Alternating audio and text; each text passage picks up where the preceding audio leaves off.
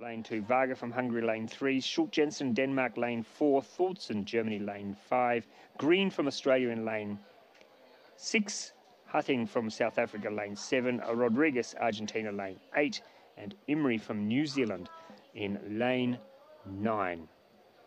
We're about to get underway. And we're off and racing now in the K1 under 23 men's 1,000 metre final. And there's Tom Green going out strong as he always does. Always throws down that challenge early. He says his big focus is two weeks' time.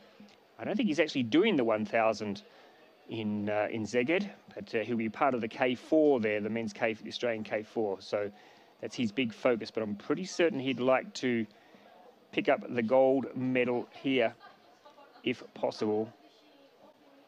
Tom Green from Australia. So it does look like it's Tom Green from Australia who's decided to really go out strong from the from the get-go. He will lead at the 250 meter mark.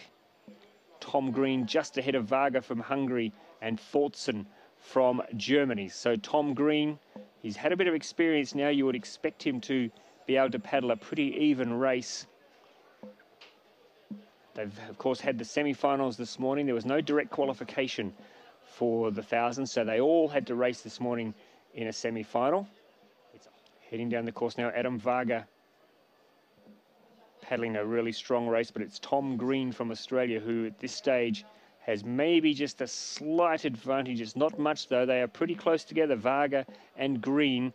Maybe Green just with his nose in front of Varga at the halfway stage. Yes, the uh, official time confirms that. Have to get a wider picture now and we'll see how they're shaping up. It is still Green and Varga.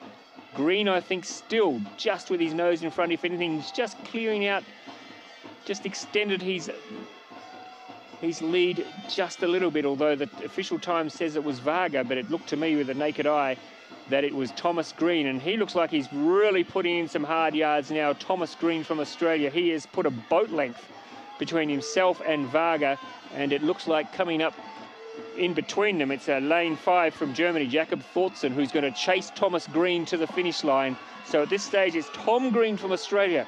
He has his neck in front. Thordsen from Germany is chasing him home. Varga trying to hold on, but I think it's going to be Tom Green who's going to take it to the line. They're really flying over there, Varga again. He's lifted again towards the finish line, but it is Tom Green from Australia who's going to take the gold medal. It's the German Thordsen silver. Varga holds on for third. What a great race between those three athletes. We are going to see them around for a long, long time to come. But congratulations to the boy in green and gold, Tom Green, who takes the gold medal here in the K1 under 23 men's 1,000 meter race. And look at that. Look at that. That is that is a great picture of the depth of the of the feeling amongst the fellow athletes here. They're all friends. They all know each other so well, and smiles all around. There they are, the gold, silver, and bronze medalists. What a race it was between those three. But you can't take anything away from Tom Green. He led from the outset a very measured race from this young man who will also be part of the Australian K4, which I think will be a very strong boat as well because they've got two of those guys in the K2 1000 later on this afternoon. So officially, Thomas Green takes the gold medal for Australia. Jakob Thordsen, the silver from Germany, and the bronze medal going to Adam Varga, who really took it out and tried to hold on to Thomas Green. Just lost it a little bit, lost a little bit of the horsepower towards the end of the race. And that allowed Thordsen, the German, who paddled a very even 1,000 metres, to sneak through to second. But Tom Green will be pretty happy with that. He kept telling me that he was here to have fun this week.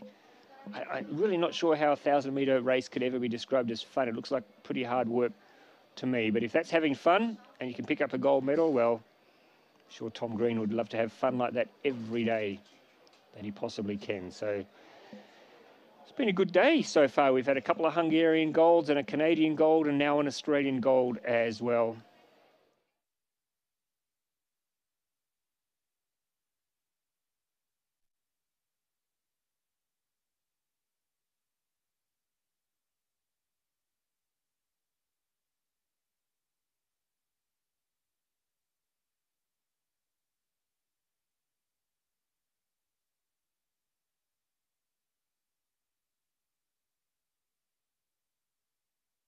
Thank you.